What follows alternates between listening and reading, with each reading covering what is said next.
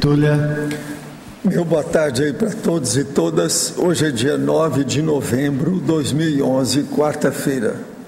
O verbete é de número 2110. Tem cinco páginas, 47 elogias e 17 máximos. O tema Escola de Cons. A especialidade é para pedagogia. A quem redigiu o verbete com muito critério é a nossa super especialista e veterana professora Tânia, que está ali para receber todos os mísseis balísticos intercontinentais do mental soma de vocês, que ela tem defesa para tudo isso. Tá certo? Definição: a escola de Cons é o sistema parapedagógico construído ativamente pela consciência lúcida, com o propósito de facilitar a recuperação de cons magnos, bem como manter o megafoco proexológico a partir de resultados subjetivos ou objetivos, convergentes, criativos, especializados, recicladores e teáticos na existência intrafísica em relação ao curso intermissivo pré-ressomático. A holopenseridade da escola de Cons, a retilinearidade pensênica, as aplicações teáticas do curso intermissivo, a recuperação de cons pessoal ou grupal, essencial ao, no, ao corredor evolutivo, no corredor evolutivo. Os discentes e docentes intermissivistas desempenhando a completude existencial, a bagagem experimental de multividas para as inovações proexológicas, a reeducação embasada na convergência otimizadora entre as dimensões intra e extrafísica. Eu li apenas uma parte da fatologia, tá? O sistema parapedagógico sempre aprendiz a cosmossíntese sempre aprendente da vida intrafísica, as investigações paragenéticas e holobiográficas da escola de Cons. Eu também li só um pedacinho aí da parafatologia. Agora, na remissiologia dos 15 itens, destacamos cinco. Aula de conscienciologia, casa do intelecto, lição recicladora, para técnica didática, e tempo dos cursos intermissivos. Agora, ó, a frase enfática é, um, é chamativa, é um macho aqui, que ela está perfeitíssima. A, a Rosa Nada já julgou a toalha.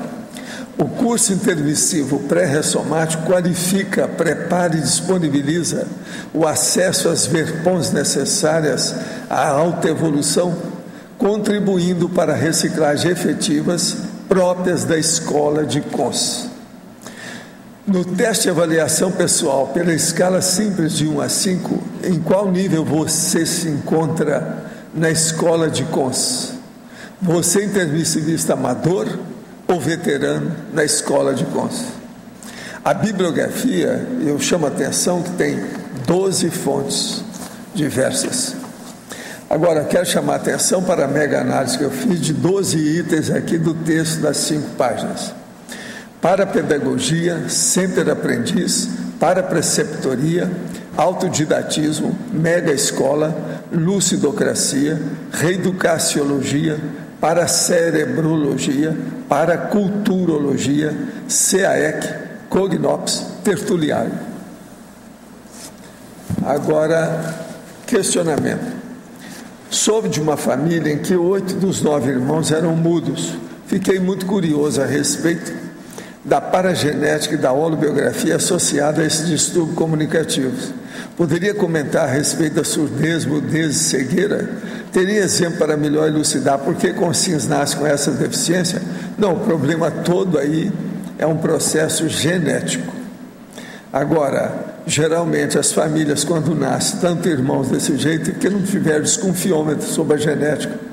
É gente que não teve tanta cultura sobre o processo de medicina. Porque quando a pessoa viu que é isso, ela já sabia que o próximo poderia nascer daquele jeito. É, parava, dava um jeito. Isso aí é problema mesmo primário de incultura médica. Tem muito disso. No caso aí, é em cultura genética. Partindo do princípio de que todas as consciências foram criadas simples e ignorantes, e atendo ao fato, atendendo ao fato que já existem consciências livres, tendo todas passado pelo processo de crescimento individual, o serenão foi provavelmente criado antes de mim, que por minha vez fui criado antes de uma minhoca. Essa cronologia não implicaria em privilégio? Olha só o egão dele aqui falando, essa está ótima, é um meninão. Porque a causa primeira é, preferiu fazer a consciência de determinado serenão que não era serenão antes da minha, e por isso a minha antes da minhoca. Por que a minhoca foi tão prejudicada cronologicamente? Esse não entendeu nada. Olha, você está muito primário, jejum, está começando a engatinhar. Primeiro, presta atenção, não é não tanto e não necessariamente. As criações são contínuas. Você precisa estudar mais astronomia e ter mais cosmovisiologia das coisas. Precisa ver o que, é que nós falamos. Então estão sempre criando. Outra coisa, serenão é serenão porque ele se fez assim. Agora, pior é isso, que você, por exemplo, foi criado na mesma leva de consciências, ou seja, de princípios conscienciais. Uns já são serenões, você está aí como pré-serenão, não está sabendo nem como é que evolui. Quer dizer, uma vergonha, estou morrendo de vergonha por você, tá certo? Eu não estou falando quem é, tá certo? De modo que precisa estudar um pouco mais. Ele não está entendendo que o processo todo é de alto esforço evolutivo. A minhoca, você já foi minhoca, já melhorou. Agora, ó, o desafio agora é ser serenão, mas para isso, lembre-se, estuda a cosmovisiologia. Você está muito por fora da evolução aí. Há muito tempo que eu não vejo pergunta igual essa assim tão absurda. Para nós, isso é uma absurdidade. Para ele, não, é uma coisa normal. A gente entende o jeito, está tudo certo. Tudo é uma elaboração de pensamento. Agora, uma coisa boa nele é o seguinte: é que ele está elaborando, ele está fazendo elucubração, é, fazendo hipótese. Segundo as palestras que ouço aqui em São Paulo, poucas pessoas são intermissivistas e poucas recuperaram seus cons após o restringimento.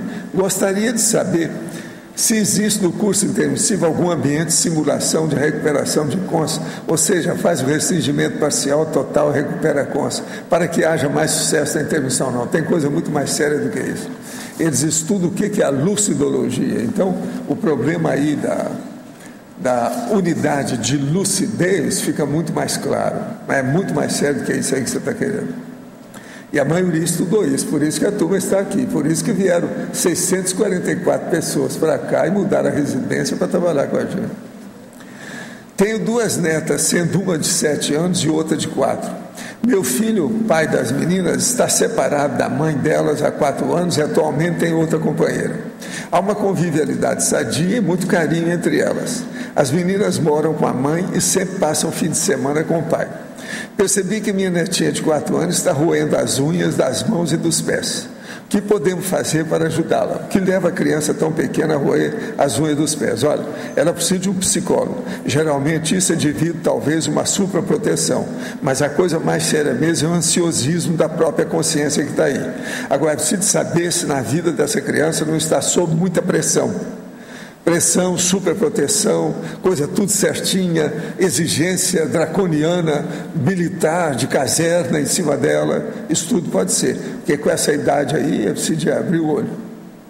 Então é preciso, ela só tem quatro anos, e outra coisa, roendo até a unha do pé, quer dizer, isso aí é terrível, tem que ir. Agora, o problema é ansiosismo. Geralmente essas pessoas são muito criativas. É preciso arranjar, talvez, é, computação, robôs para essa criança mexer, que isso às vezes ajuda. Eu já vi vários casos desse e a gente conseguiu superar com o tempo, mas às vezes demora anos. Depende como é que é. Às vezes usa luva na pessoa, na, põe luva, luva na criança, mas o ideal é ir a um psicólogo especializado para acompanhar a criança uma temporada. E assim ele vai examinar o processo da família, se não há uma, um holopensene de ultrapressão em cima da criança. Fiz consulta com uma pessoa que diz poder acessar minha tela mental com a ajuda de seres ultradimensionais e informar sobre alguma das minhas vidas passadas. Me falou que era partícula de um profeta Baruch. Um dia desse tem uma pergunta dessa, não sei se é a mesma pessoa aqui. Não sinto afinidade por histórias sobre o profeta e sobre o Antigo Testamento que me faz questionar a informação. Disse a ele que era casca grossa com as energias e me recomendou ouvir mais música e assistir a filme de comédia e romance para que um dos lados do cérebro trabalhasse mais e assim me permitisse melhor sensibilidade das energias. Isso tudo tem algum fundamento? Olha, isso aí é coisa primária, né? O ideal é você trabalhar mesmo é com estado vibracional, é o que nós conhecemos aqui. O mais aí é muito primário, isso aí é muito superficial. Agora, para a nossa eminente verbetógrafa, na parafatologia, página 2, final da terceira linha, de baixo para cima. Poderia nos explicar de que modo chegou a hipótese das disciplinas intermissivas serem prescrições reeducativas? Foi através de alguma retrocognição intermissiva sua ou algum parafato? Na terça. Eu sou está na terça. Ah, tá. A hipótese das disciplinas intermissivas serem prescrições reeducativas. Na realidade, eu tinha escrito essa ideia não como hipótese, mas eu estava com determinismo. É, mas aí eu passei com a minha colega é, Dulce, e aí nós discutimos. E, Tânia, não tão determinista assim, menos. Coloca como uma possibilidade, como uma hipótese da, da pesquisa dessa escola de Conde. Não foi? Não foi Mas está assim? na cara, né? Não precisa assim. ser hipótese, não. Isso aí está na cara. Então, pode Quem ser. conhece parapsiquismo já Porque viu. Porque a gente aprende para poder. Curso intermissivo é isso. Né? Perfeito. Então. Ontem li matéria sobre um rapaz que, ao voltar do coma provocado por um AVC, se tornou repentinamente homossexual. Também mudou de profissão de jogador de rugby, se tornou cabeleireiro e abandonou a noiva e disse que não sabe explicar o ocorrido.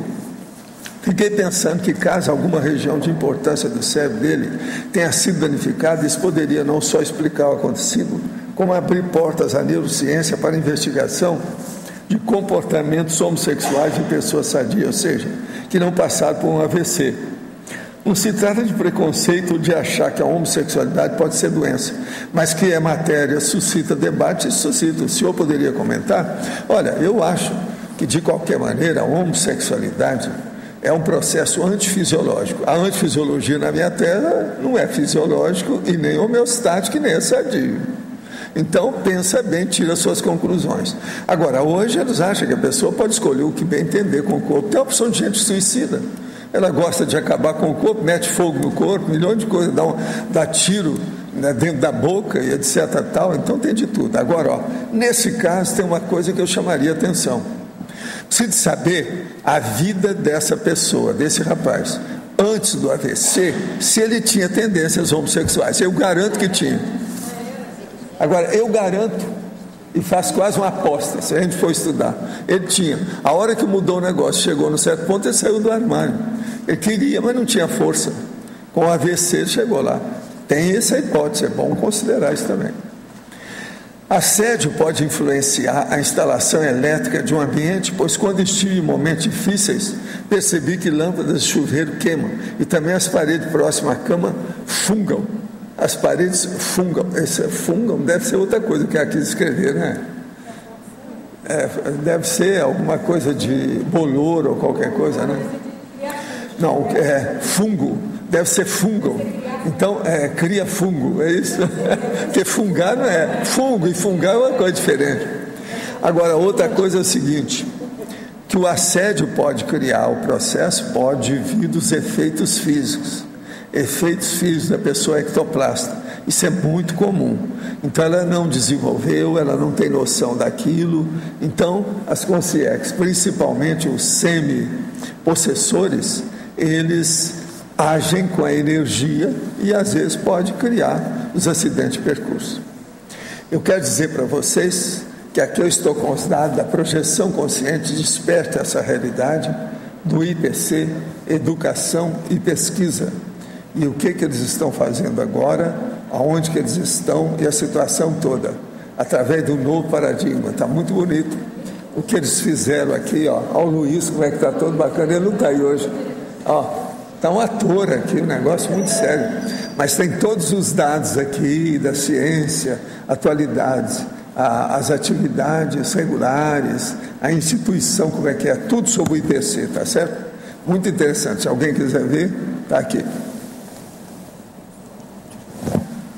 Agora, nós estamos aqui com um convite para o dia 11 às 19h30 no Colégio Bertone, que vai ser lá a Assembleia da Constituição e Coquetel do lançamento do Elevens, Instituto Internacional de Educação de Excelência. E vai ser às 7h30, dia 11, que é, é depois de amanhã, ou seja, sexta-feira, lá no Colégio Bertone, na rua Jorge Samuels. Agora, a equipe de voluntários é que está fazendo aqui o convite muito interessante o negócio do Elevens. Agora, ó, quero dizer para vocês também que nós já temos aqui a nova relação que vai entrar depois dessa, que é dos neoverbetógrafos, mais uma, é, mais 20. E outra coisa, com essa relação, então, nós já vamos para 114 verbetógrafos, comigo 115, e um total de 216 verbetes. Agora, essa nova corrumaça aí dos, dos 20, tem cinco neoverbetógrafos e tem dez bem veteranos na história toda. De modo que por aí vocês veem. Agora, as expressões são muito interessantes aqui. Tem uns assuntos que eu já desejaria ver hoje. Vale a pena ver. Muito interessante. De modo que vocês já estão, então vocês se preparam para enfrentar. Hein? Qual o senhor gostaria de? Você quer, Por exemplo. Você quer que a gente fale? Por exemplo, aqui, brilhareco intelectual. Eu sempre falei nisso. e veja como é que vai ser. Tem vários aqui. Tem outro, ó, terrível. Canis lupus. São alguns dos amigos nossos, é. Esse aqui também é terrível. Tem vários aqui. Agora, tem umas aqui bacanérrimas, né? Jovialidade sem idade. Esse é bacana, bacana. Agora tem outro que é super brabo, lexicoteca. Eu estou esperando aí para a gente ver isso com calma. Gente, eu entrego então a nossa professora Tânia, tão querida e que a gente faz tanta rolo em torno dela, que ela está aí hoje. É para fazer o quê? Eu sempre vejo. Você, você já viu que eu sempre mexo com a Tânia né, nas coisas todas. Agora, hoje ela desceu lá dos píncaros do camarote e veio para os baixinhos aqui da sarjeta da galera é, para defender o processo. Não, eu sei, eu sei porque. Eu sei, mas eu estou falando é do fato em si. É o fato em si. Tá certo? Vocês Tânia. podem falar agora. Tânia. Ó, primeiro é ela que está perto, espera um pouquinho. É. Não combinamos, né, Tânia? Não foi combinado. Olha, parabéns pelo verbete. Esse verbete. Isso é só para chatear. Não pode deixar isso escapar, não pode. Me ajudou bastante a entender o que é cons, porque eu não me considero uma consciência lúcida, e sim uma consciência que percebe. É, agora aqui, Tânia, a recuperação de cons magnos na, na, na definologia. É, existe cons é, bélicos? Cons bélicos? bélicos? É, porque você fala em alguns recuperação apenas de cons. É, eu coloquei Agora você põe Magnus. Isso, então a gente está qualificando, por isso o verbete homeostático. homeostático. Aí agora você me pergunta se existe cões bélicos. bélicos. A ideia é cões é a unidade, mas é, pois é, mas... A unidade pode ter Porque a unidade sim. medida da lucidez, é. de lucidez. É. Agora, então, tem gente que acha né, que belicismo é lucidez, e não é. Sim. Então é preciso abrir o olho com isso, que é a unidade de lucidez, que é o que interessa. Unidade de lucidez, a unidade de medida. Ah, tá. Entendi. Tá. tá. Agora, como ele é um. Na, na própria definição ainda, como ele é um sistema parapedagógico, a reciclagem existencial e a recuperação de cons magnos estão ligados? Você pode ampliar isso aí para mim? Se é um sistema parapedagógico, você está querendo saber se as reciclagens. É. Porque você fala aqui embaixo, ó, recicladores e teáticos na existência intrafísica. Isso, inerente. Então, é, é, Porque se você está recuperando, se você está caminhando, se você está aumentando a sua lucidez, você não pode ficar no mesmo estágio é, é, parapsíquico, é, mental, de mental soma, você vai avançando no seu passo, cada um no, no seu passo. Cada eu, um no seu nível. Eu imagino, essa uhum. escola de cões, a ideia é que ela seja. É, esteja sempre acontecendo no momento em que você presta atenção, aumenta a lucidez para observar o que está acontecendo com você. É o meu entendimento, né? Outra coisa que eu quero explicar. Esse TG que está aí no fim. Não é tanque é de guerra. Guimarães, não é tiro de guerra. Já me falaram isso da outra vez.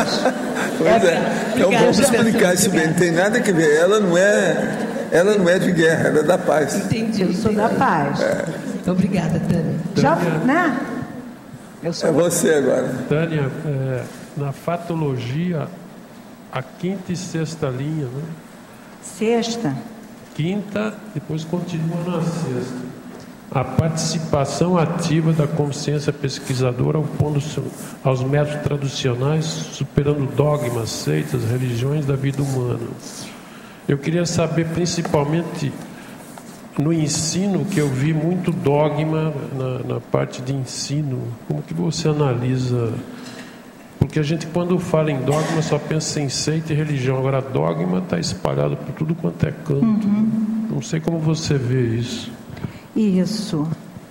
Eu não quis só ficar em religião. Eu fui para o dogma porque eu fui não, eu não... professora universitária, né? E aí eu é- andei nesse grupo. Eu fui durante muito tempo. Quer dizer, eu saí do movimento revolucionário e entrei na, na academia e eu estava eu, naquela ocasião, eu estava dogmática também. Quer dizer, estava presa na ideia da eletronótica. Então, é, você, você sendo ativo, você percebendo o que está acontecendo com você, você vai aprendendo com acertos e com erros. Consegui responder a sua questão? É correto, mas só para aprofundar, eu queria saber se do... Em relação ao ensino, como você está falando de parapedagogia, na questão do ensino, como que você vê o dogma? Porque existe bastante. Né? O dogma é rígido. O dogma tem as certezas absolutas, não é isso? Hum. É isso que você está me perguntando, então? Não, a existência dele no ensino. Porque... Ah, tem, claro, tem. Tem aquelas certezas, você está absolutamente certo Alguns professores veem os alunos como é, inferiores, né? E isso é um dogma. Você não, não, não permite a simetria de possibilidades. Dogma rígido, fechado, sem relacionamento. No tempo do meu ensino, não sei, deve continuar hoje, não, existia diálogo com o professor. Né? Muito pouco, uma coisinha de pergunta, mas se você divergia de alguma coisa, ele não, não Na admitia. academia? Não, no ensino em geral, né? Também na academia deve ser assim. É, porque o ensino anterior, como eu tive problemas, assim, como criança, criança espancada, essa coisa assim, bem complicada, então eu era muito tímida, eu era muito calada. Eu ainda sou tímida até hoje, mas eu era bem mais tímida era bem mais tímida. Não riam, eu sou uma pessoa tímida. Agora, então eu não, eu, eu não debatia com os professores. Correto, é, eu pra... fiz curso normal, né? Eu, sou, eu comecei professora, professora primária. Mas na universidade, eu primeiro, né, logo que eu entrei, tava, eram os anos 67, 68, eram os anos quentes do movimento estudantil. Então eu pude é, discutia com os professores. Eu estudei na UFRJ, né, no Rio Existia de Janeiro. uma abertura. Ainda era na pré-vermelha. Isso. E aí a gente podia discutir, talvez até por essa prática prévia no movimento estudantil. E depois eu, eu fiz o concurso para outra universidade, aí eu fui ser professora e mudei de lugar. Mas aí eu estava sempre interessado nessa possibilidade da simetria entre aquele que educa, quer dizer, que pode ser um exemplo, e o que aprende, que também pode ser um exemplo. Então, alunos brilhantes que me ensinavam, foram me ensinando. Quer dizer, antes de eu, antes de eu chegar na, na conscienciologia, passei pela análise transacional, onde eu pude é, fazer um monte de curso e cada vez mais percebendo meus alunos, minhas alunas. Eu fui saindo da dogmática né, que a academia cria na gente, né? ainda mais quem tem titulação, pode ficar bastante complicado, bastante Agora, fechadão, né? Então, é, correto. Agora, na própria página 2 da fatologia, você pula para a oitava linha e continua na nona. Epistemologia da parapedagogia em ação. Ah, oitava linha na parafatologia? É, na própria fatologia. A oitava ah, na fatologia. Na própria fatologia, um pouco abaixo do a que você viu aí. Epistemologia da parapedagogia em ação. Então, a epistemologia Aí você está você tá focalizando a episteme, né? O, o, conceito. Então você vai, enquanto parapedagogo, né? aquele que está relacionado com todo multidimensional, não ficar somente é, no processo intrafísico, né? Para pedagogia em ação. Você está bastante focalizado com a episteme, com a com a paraepistemologia, quer dizer, você. Aqui eu estou reforçando em dois momentos, para epistemologia e para pedagogia, quer dizer, a forma de entrar em contato, é, fazer a construção do conhecimento no, do, no discente e no docente e a questão do, do conteúdo, do conceito, é episteme. Correto. Você faz uma análise do paraconhecimento da sei lá, da pedagogia, do parapedagogia. E multidimensional, não é apenas, não é pedagogia. Que é uma paraepistemologia, né? Sim. Deixa de citar. Obrigado. Hein? Tânia, Silvana aqui no ar. É, na página 2, na parapatologia, na penúltima e última linha, você fala aqui o planeta escola podendo ultrapassar o planeta hospital devido às aprendizagens intensivistas. Como é que você vê essa possibilidade? É, eu vou te pedir para você expandir um pouco isso aí. É, a gente vai vendo isso porque aqui a gente tá, pensa, está para a fatologia, você está focalizada no curso intermissivo, né? Então você está aprendendo. Só que essas aprendizagens, elas são o início.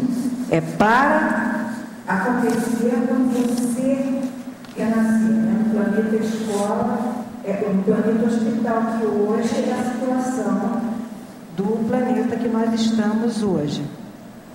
Então, o otimismo pedagógico está ressaltado nesse aspecto que a gente quis colocar aqui como último é, item da parafatologia. Pode-se ultrapassar o planeta hospital. Você pode diminuir o número das doenças. Se você começar sendo o primeiro exemplar, e aí você aprende né, nas disciplinas que podem ser prescrições reeducativas, quer dizer, você de novo está pensando na multidimensionalidade. Você pode fazer essa modificação. A ideia é essa, né? Que isso aqui seja um planeta escola e avançado. É, eu consegui responder você, Sil? Conseguiu, Tânia. Obrigada. Obrigada. Quando me aproximei de uma pessoa, comecei a entrar em estado vibracional. O que podemos concluir com essa experiência? Olha, isso aí é interação de energia dentro do olo pensando, isso é coisa primária. Né? Anota tudo e vê se você vai desenvolver alguma coisa junto com essa pessoa. Hoje de manhã, a minha mãe me disse para fazer o evangelho no lar. Há alguns anos não faço, desde que comecei a estudar a conscienciologia. Falou que essa noite estava terrível para dormir.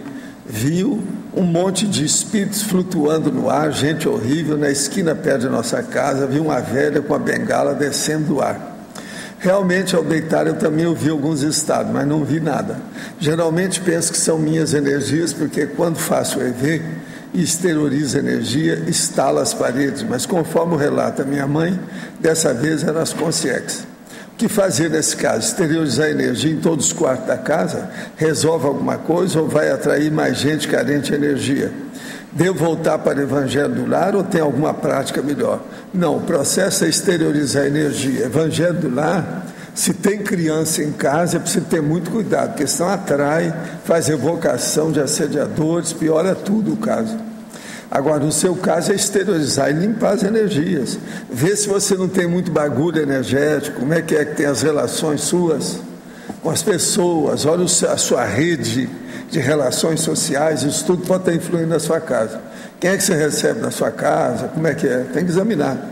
Você tem que examinar mais e trabalhar mais a sua base intrafísica. Acredito, sendo pesquisador independente, que a parte da consciência que se projeta é o id e que o ego e o superego agem como freios. Já existe algum trabalho de alguma IC que confirme essa hipótese? Não. Nós achamos que tem muita besteira do Freud, sabe? Não é bem assim, não. Outra coisa, como é que você explica aí o problema da pessoa que sai do corpo, deixa o psicossoma e vai só de corpo mental? Isso estoura todas essas, todos esses princípios né, da psicanálise. Pode falar. É a Rose aqui no, no B. É, página 2, a quinta linha de baixo para cima, fatologia. É, o estado de apatia delinquente, vida após vida. Eu gostaria de saber o que é essa apatia delinquente.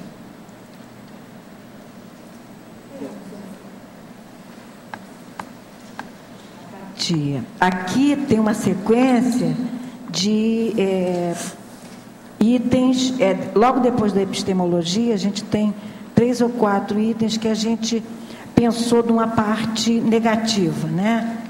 Então, apatia, você não faz, você fica repetindo a coisa nosográfica, a coisa a, a, errada, e você está sabendo, você desconfia, você tem ideias que o que você está sem modificar está errado, quer dizer, você está fazendo coisa errada, mas permanece. Nesse caso, a, a qualificação ali delinquente seria que a pessoa já sabe que está fazendo isso. É delinquente, ele tem um, então, um, um erro consigo mesmo. Porque a recuperação de coisa é você tomar consciência de você, de certo modo, né? A gente pode fazer essa analogia. E a delinquência você tá, ah, tá bom assim. É, eu fiquei o quê? Quase 12 anos fumando. Eu sabia que, né? Eu era, eu fazia, eu era farmacêutica. Eu sabia que eu estava fazendo uma coisa errada para mim, mas ah, vou fumar mais um pouco. Vou, não. Segunda-feira eu paro de fumar, né? Não tem a coisa essa parte. É, então você permanece, você está sabendo que está equivocado, mas permanece. Tá ok, obrigada. Tânia, olá. Em fatologia, é duas questões, tá? Primeira, em fatologia, na sexta linha de baixo para cima. Agentes da, da pseudo-reciclagem. Você poderia a, falar para gente? Olha, aqui eu comecei com, com a pseudo-reciclagem. Quer dizer, a pessoa sabe que existe a possibilidade de você reciclar, que existe a possibilidade de você fazer a modificação a partir da, da vontade pessoal. Mas, ah, eu vou fazer assim, assim é mais fácil, ou então, não faz, se é jovem, nem vexe, né? não coloquei lá na frente, quer dizer, não, não, tem, não tem inversão existencial.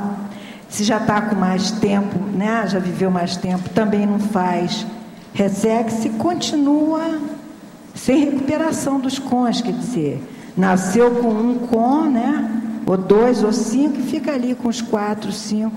Não recupera os mil, os mil cons que a gente tem in situ, né, em cada um. É, eu consegui. Fica numa zona de conforto, seria isso? Mais ou menos? Não? De certo modo, né? Mas veja bem, não sei se, se é zona de conforto. Pode ser, o conceito pode, pode ser bem abrangente e pegar isso, mas aqui a pessoa sabe que existe que pode a mais. possibilidade da reciclagem. Ela sabe, ela sabe que sabe, mas é pseudo, é, é, pra, é, é, é, é talvez só para aparecer, só para os outros, né, dentro de si. Você achou possível? Quer dizer, você falou em zona do, de conforto, né? É, eu, eu acho que tem um desconforto, não é, tem? Sim, tem que ter, né? É Agora, eu entendi como assim a, a pseudo-reciclagem no sentido da, da Consim, ela pensa que fez a reciclagem. Mais adiante, ela, no momento que recupera mais cons, ela olha para trás e pensa, né, se dá conta de que não tinha feito essa reciclagem tão profunda. Então, nesse caso, seria uma pseudo-reciclagem. É, eu, no terceiro item, nessa sequência inosográfica, o Sim. infantilismo Sim, constante. eu inclusive marquei aqui para te perguntar é. também. O infantilismo constante. Talvez aí tenha a zona do conforto. É, eu, eu, não, eu não entendo isso, eu não, eu não entendo. Talvez. Mas a pseudo, você sabe que pode fazer. Até você imagina que pode fazer. Okay. E em parafatologia, na segunda linha, o enrompimento do paracérebro. É, uh, eu acho que dentro dessa mesma sequência. Eu, né? você eu... tem alguma experiência? Você tem experiência disso? Você vivenciou o enrompimento para colocar como para nós? Não, não, isso é por enquanto teórico, mas é essa, sua... mas essa ideia do autodespertamento, né? Você é, sabe que há a possibilidade daquele movimento pessoal, daquele movimento consciencial. Você entrar em contato com a sua essência enquanto é de autoconsciencialidade. Então, esse autodespertamento pessoal é, é teórico, né? Ok. A gente foi colocando a, a teoria para ver se, se vai aumentando a, a a lucidez, né? Ok. A ideia é essa. A escola de cons pode fazer isso, né? Estamos na escola de cons, né? Sim. O tempo todo. Tânia, é, na página 3, efeitologia, a relação de causa e efeito existente entre o curso intermissivo ah, é. e a possibilidade da completude proexológica. É, qual é o papel da escola de cons nessa questão do efeito de uma coisa com a outra aí? Qual o papel? Ele é uma ligação ou ele é a própria estrutura dessa, dessa relação de causa e efeito, não é? Curso intermissivo, e aí você é, estuda, você experimenta, faz algum teste de experimentação e depois chegou na, na, na vida intrafísica. Completude proexológica. A gente veio para completar as coisas. Isso não é. A escola de cões é essa sequência. E essa sequência é elevado a N. Aí tem de novo, de novo. Elevado a N por causa de quê? Não é elevado a N, ou é, quando bota aqui embaixo é o quê? Não é elevado? Curso intermissivo e vida humana. Parêntese N. É índice N. Não é elevado. Infinito. É isso que vai acontecer. Mas isso não importa. Olha só. É, Vê se eu entendi aqui. A ideia que você está colocando da, da escola de cons é que cada um tem a sua, produz a sua, esse sistema parapedagógico ativamente pela consciência lúcida é que cada um faz a sua própria escola ou, ou, ou a, apreende da, da vida dela? Isso você Qual aprende, é mas Hã? aprende, mas olha só, em, em dois ou três, inclusive aqui na argumentologia eu ressalto a assistencialidade, quer dizer, você tem que estar é, com, com o coletivo. Você sozinho, não, não existe a escola de cões individual. É coletiva, é, é grupal, né? é, é interassistencial. Foi uma das né, qualificações. Ela é a pátria assistencial, cosmoética, é, revolucionária e pacífica. E que eu achei interessante que você colocou construída ativamente pela consciência lúcida. Então, Sim. Então ela é construída, ela não é dada, né? Entendeu? Não, ela não é dada. É, mas ela, ela é, é construída, construída como você está falando, cada um, mas no todo, é isso? No todo, com, com, no coletivo. Na definição, não está objetivo, convergente, criativos, não. Mas a ideia é que o grupo é fundamental. Você chegar no policármico, né? Por Depois da, das recomposições necessárias. Por isso é. é. que eu acho que essa escola de cons é fundamental aí entre o curso intermissivo e a completude proexológica. Então você está sugerindo um não, termo. Não estou sugerindo, estou querendo entender. Eu só estou tá. ressaltando que eu acho que você colocou essa, esse primeiro efeito aí, é interessante, porque ficou a escola de contas com um pano de fundo aí, entendeu? Como um pano de fundo, é como uma, uma sub, subtrânsito, sei lá como é que eu falo isso. É um contínuo. É um contínuo. É um tá contínuo, sim. Uhum. Então tá bom. Parabéns pelo verbete, tá? Muito obrigada.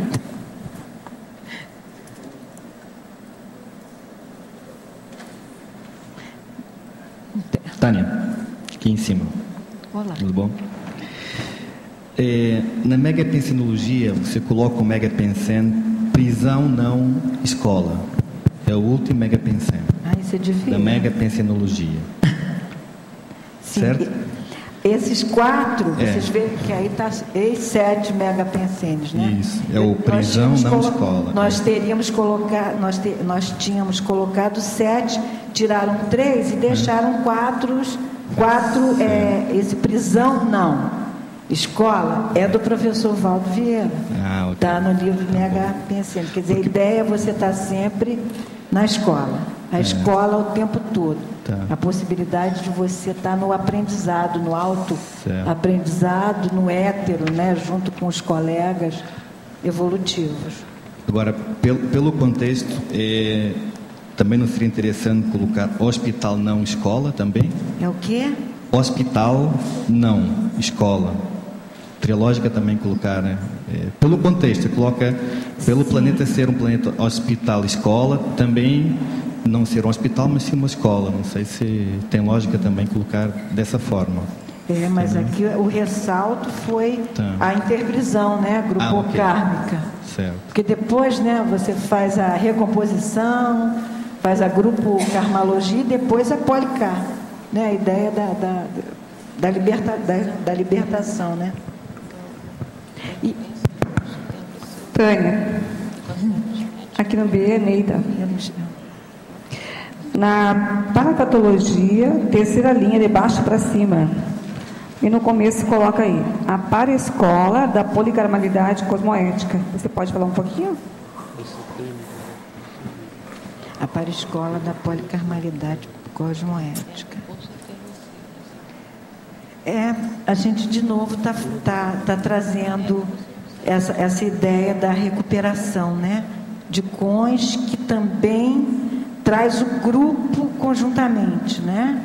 É policarma, quer dizer, você é, fez a, a, recomposição, saiu da interprisão, saiu da, da daquele, daquele jogo que às vezes milênios da, da vítima e do algoz, você vai fazendo a recomposição, você consegue libertar dessa situação grupal e você chega à policarmalidade, quer dizer, essa para-escola que, conforme a gente está tá vendo no verbete, ela é permanente. Ela é. Você repete, você refaz. Daí algumas pessoas, algumas colegas nossos evolutivos estão lá na frente, né? Em outra situação evolutiva. E cosmoética, aí você é, não deseja o mal para mais ninguém, né? Cosmoética é a ética do cosmos. Você é um, é um agente dessa ética que permeia, que constrói é, essa ética cósmica. Consegui responder? Obrigada, Tânia. Parabéns pelo verbete. Tá, muito obrigada. muito obrigada.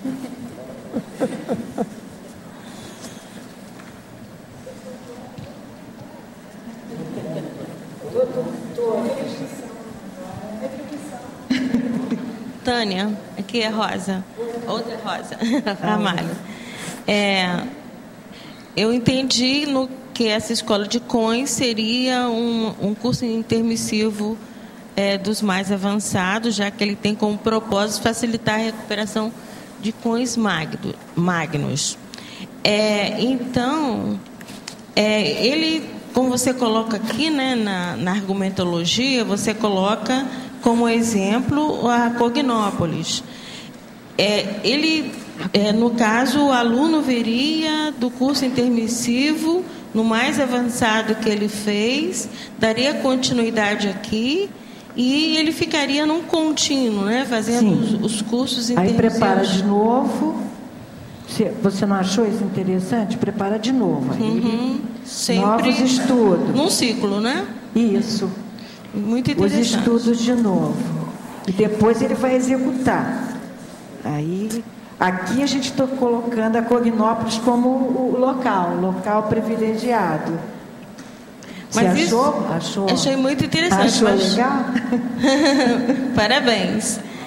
É, não significa que ele também não vá é, recuperar Mas bara, as menores visitas periódicas também, né? à é. baratrosfera, baratrosfera para fazer é, visitas. No verbete de dimensão pontual eu coloquei isso e me perguntaram, né? Que visitas são essas? Também pode ir, mas você vai como aprendiz para observar, né? Orientação. Observador né? é como pesquisador. Pesquisador, observador. É. Uhum. Como campo Realmente. de estudo, né? É, e, é e, eu gostaria que você pudesse exemplificar, você como é, professor e vivenciando essa situação, é, que técnicas você utilizou aqui dentro da Cognópolis sendo esse curso maior, mais avançado, que você está fazendo proveito até para passar para mim e para todos os nossos colegas para essa recuperação de coins, magnos, né, também. Você está perguntando as técnicas que é, tem quais usado. que você já utiliza? Tá, deixa eu ver. É, olha só, aqui na tecnologia, tá, no detalhismo a técnica da recuperação de cões. Então você vai entrando em contato com você, tomando é, consciência de si, quer dizer, a auto-recuperação da auto, a recuperação da autoconsciencialidade uhum. e passo a passo, cada qual no seu tempo evolutivo, de acordo com a sua competência, né? A técnica da reaprendência contínua, que de você porque a reaprendência, a reeducação, você ampliou, você saiu do, do intrafísico só. Então é multidimensional, a ideia é multidimensional. A técnica de fixação de cons no paracérebro, já me perguntaram, né? Se eu, se eu, se eu fiz esse autodespertamento, né? Se eu fiz esse rompimento do paracérebro. Não, mas a ideia é que aconteça. Eu não, eu Ultima, principalmente ultimamente, eu não, tô, eu não tenho mais projeções semilúcidas. Sonhos lúcidos, eventualmente, eu tenho muita imagem mental. Né? Então, está cada vez mais. É, trabalhar com paracérebro, eu tenho que fazer novas, novas técnicas. A técnica da autovisão prioritária. No meu caso, eu tinha aquela vários interesses, 360 é, possibilidade, 360 graus de interesse. Mas se você faz o procura o megafoco, você vai procurar essa autovisão prioritária. A técnica específica da inovação parapedagógica. Então, para educação, sempre que eu vou a Saquarema, eu faço o laboratório da paraeducação. Eu tive a sorte de ser a primeira é, é, quando foi inaugurado, eu estava lá para um curso e aí sortearam e eu fui a primeira a fazer o laboratório para educação. Então eu tenho um carinho especial por esse laboratório. Quando eu vou a Saquarema, no campus do IPC de Saquarema, é o laboratório para educação. E eventualmente você pode fazer a experimentação na sua casa também. Ou no laboratório de mental somática aqui do, do, do CAEC. A técnica multidimensional da vivência do sempre aprendizado, quer dizer, qualquer pequeno ato, qualquer pequeno pensamento, até o pensamento ainda de tentar fazer a crítica, que eu chamava de crítica boxeadora, né? Era para acertar. Já diminui a boxeadora, eu não estou mais boxeando, mas ainda tenho quando eu vou, eu faço a análise e quando começa, eu digo, opa, vamos aprender como não ser mais crítica boxeadora. E nessa, nessa, nessa caminhada, né, aqui das técnicas que eu coloquei, essa, essa, essas seis anteriores e essa última, tentar viver evolutivamente. É, eu nasci para isso. Viver e caminhar na evoluciologia. Foi, a foi o último item que a gente colocou na fatologia. Não quisemos colocar na interdisciplinologia. Aqui. Sendo para que, que isso se torne um fato. Para que isso aconteça efetivamente. Não fique, eu não continue uma teórica eletronáutica. Poderia esclarecer o parafenômeno de algumas crianças atraírem objetos metais ou metálicos em seus corpos? Creio que a ciência convencional não consegue explicar. E seria sinestesia? Qual a relação desse parafenômeno com a ectoplasmia? Não, pode ter relação sim com o processo de energia, não há dúvida.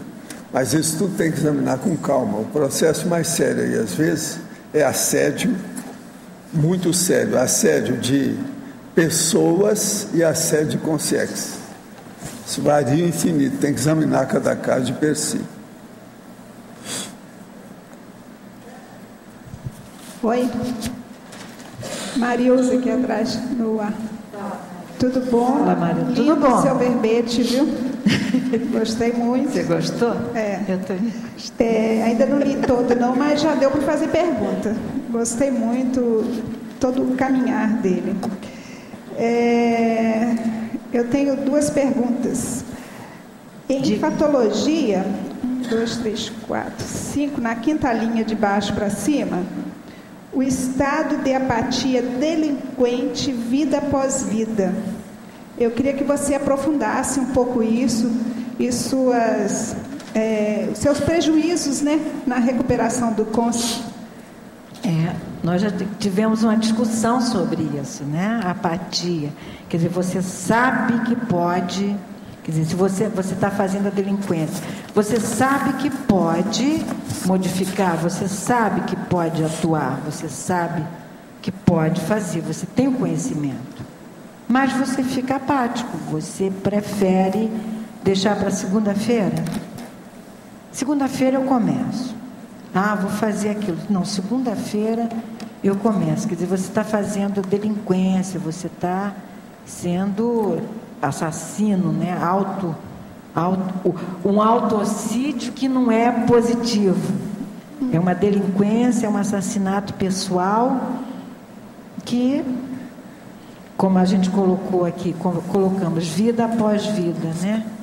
Mas isso seria uma patologia, né? Sim, olha essa sequência toda. Depois de a epistemologia da parapedagogia, é, é. nós colocamos é, cinco, é, três, três itens, né? É. A pseudo-reciclagem, a partir delinquente, é, o infantilismo constante, quer dizer.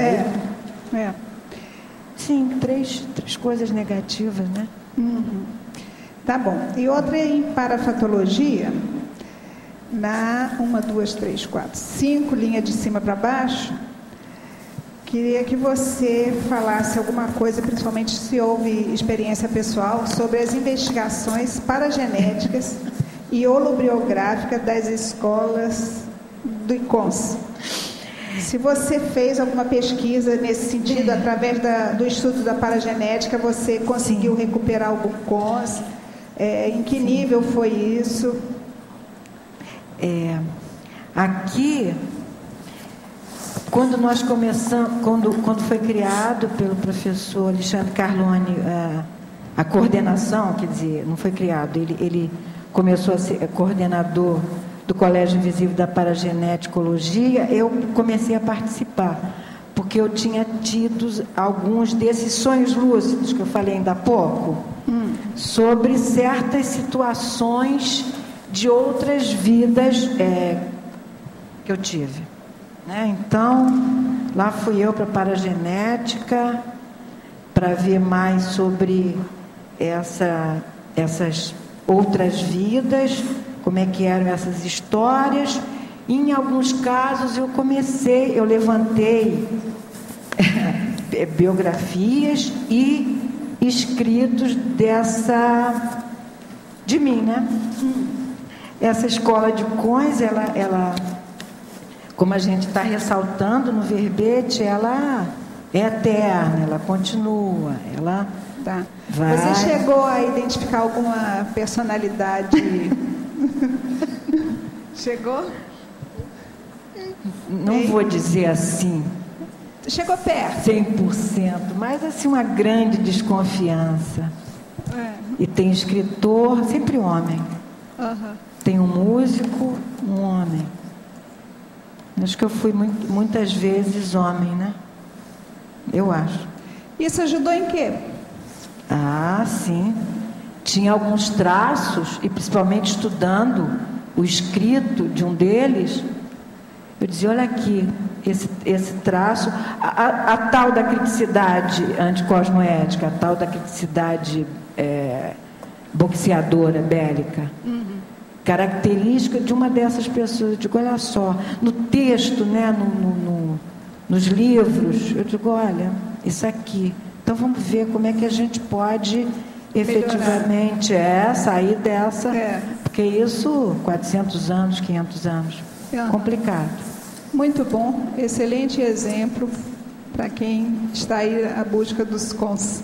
Né? É, estamos, né? Estamos, estamos todos, estamos, somos é. todos é, escolásticas. a maioria são magnos, mas tem alguns que não são tão magnos assim, né? Não, mas a gente vai, cada qual na sua medida, né? Tá bom. Obrigada, Obrigada. muito bom, parabéns. Obrigada.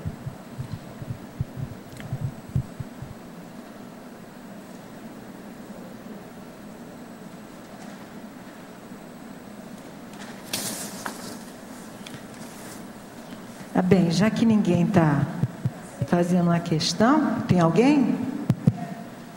Já que ninguém vai perguntar, então vou perguntar. Não vou abrir mão do, do direito da plenária aqui. É o seguinte: é, eu estudei há pouco tempo, agora estudei sobre paracérebro. E fiquei assim apaixonada pelo assunto, né, à medida que você adentra o assunto. E eu queria que você falasse um pouco desse enrompimento do paracérebro. Explanasse mais um pouco os benefícios disso, a autoconsciencialidade. Ah, eu ainda há pouco nós falávamos que isso foi uma questão teórica, né? Que eu estou também estudando.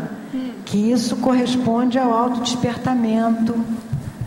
É, você entrar em contato com a sua autoconsciencialidade assim, mais efetivamente. Quer dizer, embora eu tenha tido essas lembranças, é, algumas ideias sobre essas, esses, esses, essas personalidades que eu talvez tenha sido, é, eu não tenho uma certeza, né? Mas você entrando cada vez mais em contato com o paracérebro, quer dizer, é o mental soma na sua pureza, na sua essência. É um autodespertamento, Marisa. Ok, obrigada. Vitória, aqui. Você, nesse verbete, basicamente com a escola de cons, você fala desse aprendizado contínuo, né? nesse reforço Laica.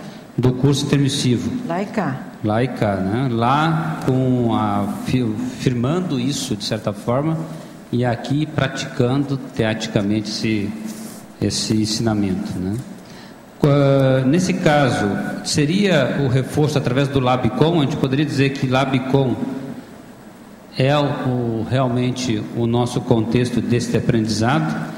Ou isso envolveria alguma outra estrutura? Você está falando mais diretamente aqui do Labicom, na vida intrafísica?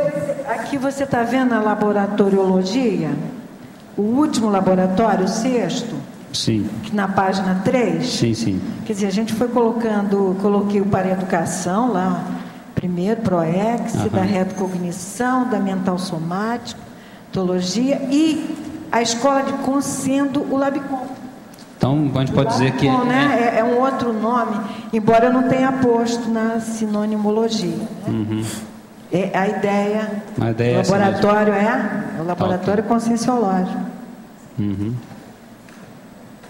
Certinho. Você, acha, ah, você acha que tem lógica? Não, tem, toda lógica, sim.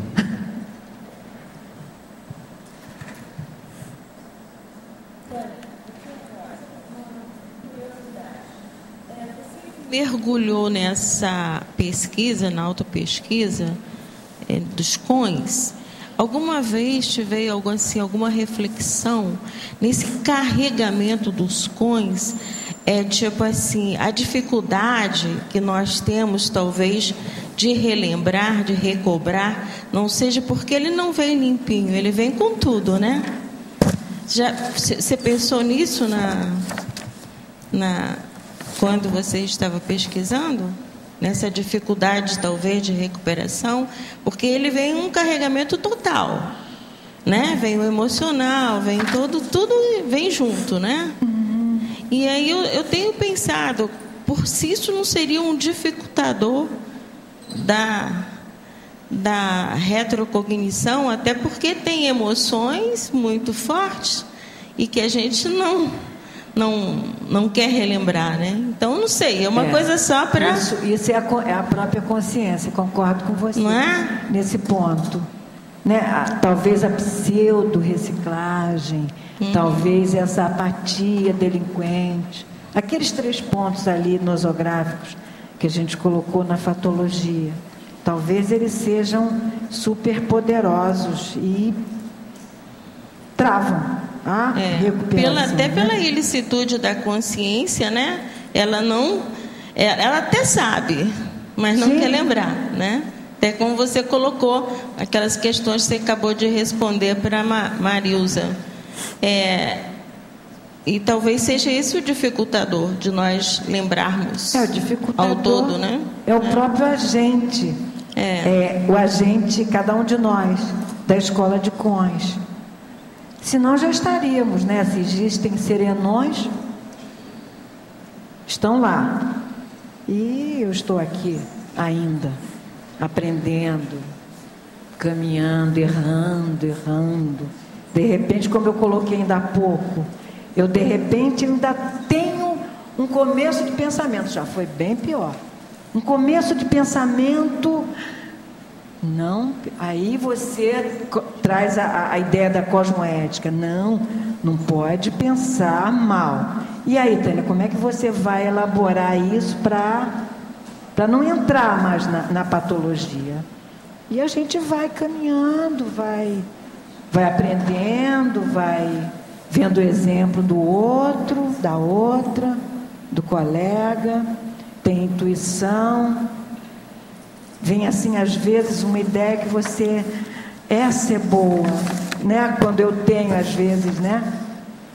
Uma ideia, eu digo, essa colega evolutivo, colega evolutivo, essa é muito interessante. Eu vou começar a pensar assim. Escola de cões, a é. gente está é, na recuperação. Isso aí, recuperação, essa é a palavra certa, né? Na reeducação. Na, na, reeducação e recuperação. Na reciclagem. Nessa seleção, a gente talvez tenha que deixar ver até aqueles mais nosográficos, Sim. porque a gente vai fazer aproveitamento e vamos tirar a estratificação das coisas boas, né? Também, Sim. né? Obrigada, Tânia. Eu estava refletindo sobre isso. É um assunto para pensar, né? Tânia, Ana, aqui. Ana. Oi, Ana na página 4, Tânia. Na parageografia. Na parageografia. Parageografia.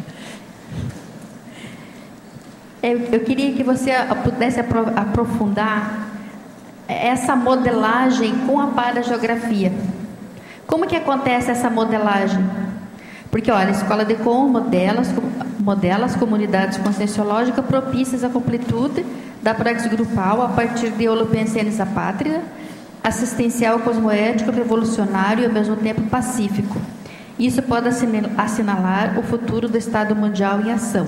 Isso. E essa modelagem, para mim o ponto assim que ficou assim, essa como que acontece, se pudesse? Pois é, a gente está tá aqui, a gente está chamando atenção para esse Estado mundial que que está no horizonte, certo. né? Nós estamos caminhando para ele. Essa é a intenção.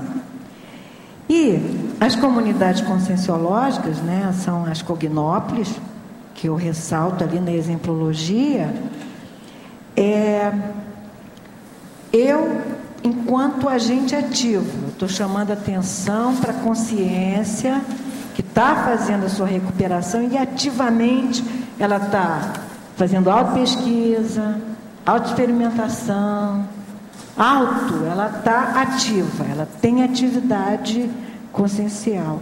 Então ela vai modelando dentro da, do seu espaço, dentro da sua competência, dentro do, do seu momento evolutivo. Ela modela. Porque nós somos N colegas. Né? Aqui na Cognópolis, essa aqui, de Foz do Iguaçu, que estamos nesse momento, nós temos N é, situações conscienciais. E aí a gente estamos todos vivendo nesse mesmo espaço físico, intrafísico e multidimensional ao mesmo tempo. Então a gente vai modelando. Você tinha pensado em alguma outra coisa? Porque o modelar, quer dizer, o agente ativo da sua própria aprendizagem consciencial, cosmoética, ele vai criando. Tem a ver com a sua definição também, né, Tânia? Você fala assim, o sistema parapedagógico construído ativamente construído. pela consciência lúcida, que você me, me, até você me explicou que é dentro de o é, intergrupal. contexto, então. É, que vai Isso sendo que construído. Né? Aí, na medida que vai sendo construído, vai sendo model, vai modelando. É, você tem a construção do conhecimento, do conhecimento multidimensional. Não é passagem de conceito, né? passar conceito. Isso quando eu ouço essa, essa frase, né, que professores passar o conceito, não passa, né? Isso o Paulo Freire falava, ele chamava isso de educação bancária, né?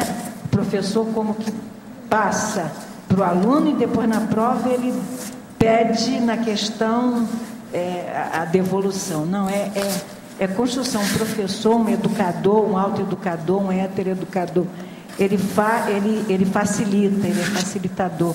Ele é um exemplo para que o outro, o aprendiz, é, construa seu conhecimento.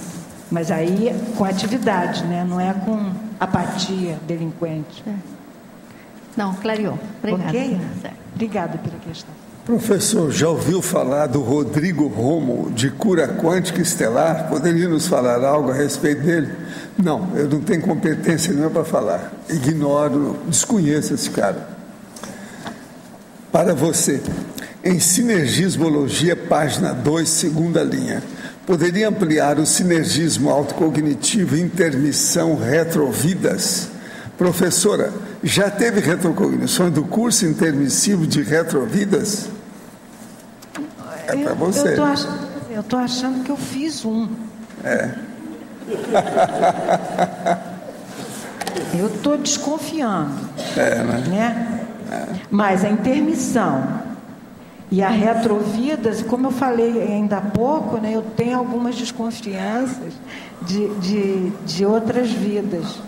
Então, você vai relacionando, né? É um sinergismo. Em Crescendologia, página 3.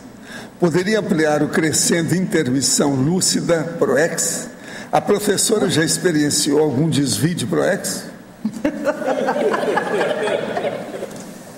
Não... Você hoje está sobre os holofotes. É, meu, meu, meu foi, é um, é um É um homem ou uma mulher? É, é o nosso amigo, ele sempre escreve aqui, ele é tá. é muito engraçado. Então, colega. É, é colégua. Pois é. É um colega. Na minha. É, é peraí, crescendo. Não, não é crescendo. É crescendo. Intermissão lúcida, ProEx. Se eu já tive algum problema, eu nessa, nessa vida, nessa vida atual, na anterior também, é, eu fui subversiva. Teve aquele dia que você foi para a escola e machucou o pé, aí você teve que ir por outro Isso. itinerário. Na com vida anterior, na vida anterior eu morro, é. garotinha. Ah, eu era mulher. Na, na... É. E nessa, aos 17, 18, né, quando eu entrei na universidade de novo. Mas eu saí antes de matar alguém, eu saí antes. Eu não matei, eu não aprendi, não. Eu não, não fiz o assalto, eu não fiz nada. É. Eu saí. Então, o desvio de ProEx estava instalado. Mas aí eu saí, quer dizer, eu, eu tive um desvio. Porque eu tinha ProEx para estar numa Cognópolis, não era para estar na, num partido revolucionário. Agora, Embora que seja revolucionário. Quais são os cursos que você fez na vida? Quais foram os cursos que você fez? Cursos? É, curso de acadêmico. Graduação? É. Graduação? Isso. O que, que você já estudou? Tá, eu fiz, eu fiz farmácia, química, eu sou farmacêutica bioquímica, eu sou licenciada em química, eu tenho mestrado em química orgânica, doutorado há muito tempo em, em Química dos Alimentos e pós-doutorado em avaliação de impactos ambientais. Era isso? Ah, Mas isso não tem importância, certo? Tem. Tem muita importância. Se você não tivesse feito isso, você não estaria com essa lucidez para recuperar os cons na escola, do jeito que você está fazendo. Isso aí é muito importante nesse corpo, nesse cérebro currículo da pessoa é muito importante. Não adianta descartar isso, não. Não é só a universidade que acha, não. Nós também achamos. Por isso que eu vivo falando com o povo: vai fazer mestrado, vai fazer doutorado. Se vire por aí. Mas aí não é perda de tempo? Ó. Não. Três, três é o jeito de você anos. melhorar o, o, cérebro, principalmente os dicionários cerebrais. Uhum. Isso aí é um jeito. Mas foi na academia. Se você não tivesse feito isso, né, você não estaria com esse desembaraço que você tem perante esses estudos e essas abordagens técnicas. Você não acha, Rosa? Você não acha? Ô, Rosa, e você que é a outra Rosa, você também não acha? Você não acha também? Se ela não tivesse feito esses cursos, ela não teria esse desembaraço. Sim, que dá uma abertura, porque na verdade é cosmovisão, né? Panorama que a gente a gente não fica fixada em, em só uma área a universidade eu acho um caso oportuniza mais um sério né? é que você é boa de debate você é, é. boa de afirmação você olha detalhes da coisa. Às vezes ela custa até entrar no assunto mas quando ela entra tudo claro.